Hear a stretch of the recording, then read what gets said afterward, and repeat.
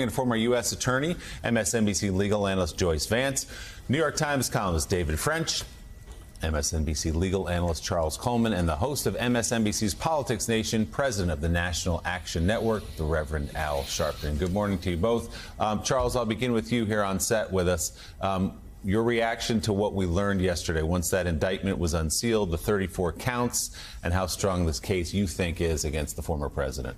Well, initially, Willie, when I read the indictment and the statement of facts, quite honestly, I was a bit underwhelmed when I started. And I think that many people like myself were looking for that second crime that we had all been waiting to see. How does Alvin Bragg get from the misdemeanor to the felony? As I paid more attention and listened to Alvin Bragg during his presser, it became more obvious. What he is doing is he is using New York State election law, which is a misdemeanor, to get to the felony as his hook. I thought it was an unusual usual way of approaching it. But here's the thing that we have to understand Alvin Bragg is the Manhattan District Attorney, which means that he is the head law enforcement officer in Manhattan in the state of New York.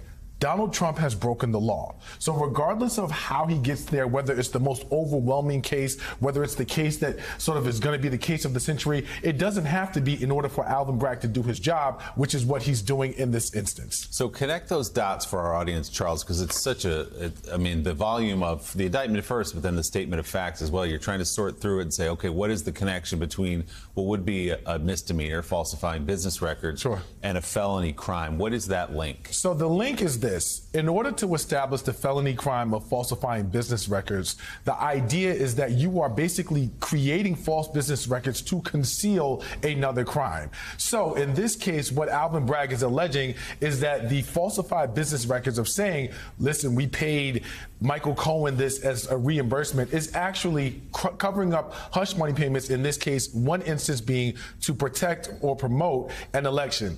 And that is one of the payments regarding Stormy Daniels in respect to some of the other payments, there's also the notion that there were two, not one, but two different shell companies that were created for the purposes of basically hiding this catch and kill scheme that was had with the owner of the National Enquirer. And so that, when it comes to, to those things, what Alvin Bragg is alleging, number one, is potentially there's a covering around tax fraud and a covering around uh, the campaign laws in New York State. Reverend Sharpton, you know Alvin Bragg. Give us a sense of the weight that he is carrying, the weight that carried him to yesterday, the charges that were filed. He's lived with this for quite a while. He acted on it. What's going through his mind today?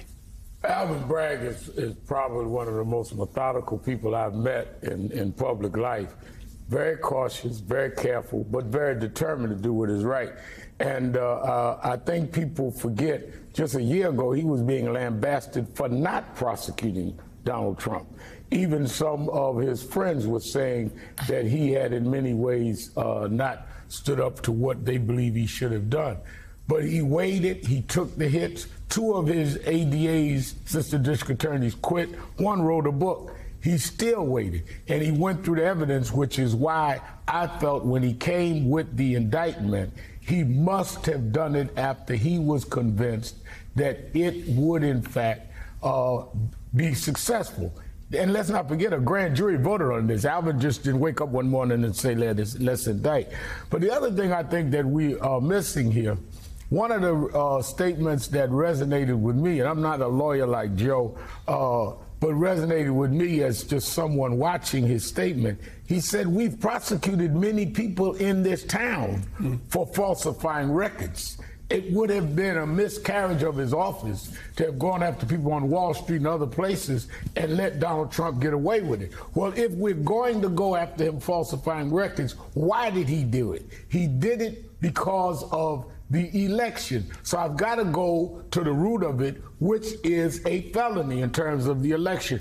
He laid it out very logically. And for Donald Trump to be able to show up yesterday with only a little rally, and you know how the rallies I do, maybe 100 people, led by George Santos. If there's oh. anybody oh. I would have wanted not to be at a rally for me, it would have been George Santos. And then he gets to Mar-a-Lago, and the pillow man is there, not his wife. So you go from George Santos to the pillow man. Not a great day for you, Donald.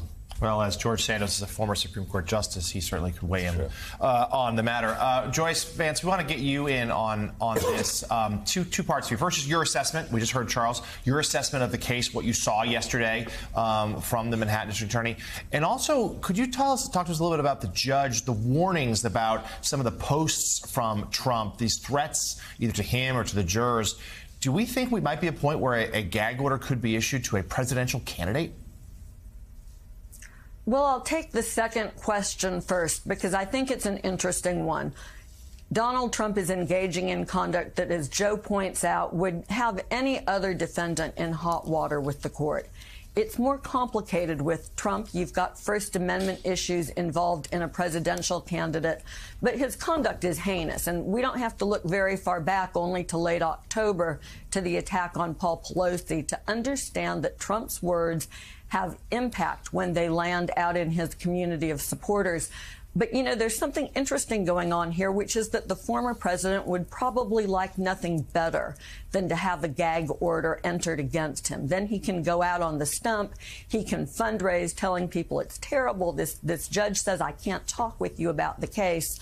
So the judge really has a difficult path um, that he's going to have to navigate here in order to protect the case. The whole reason we don't want folks talking out in public is so ultimately there can be a fair trial.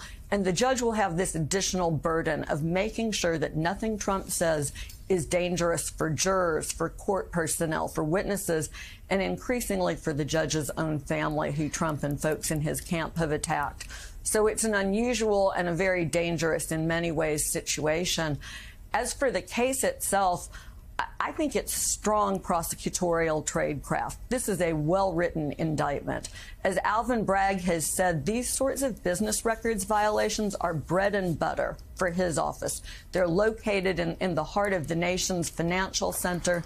They have a strong interest in protecting the integrity of business records.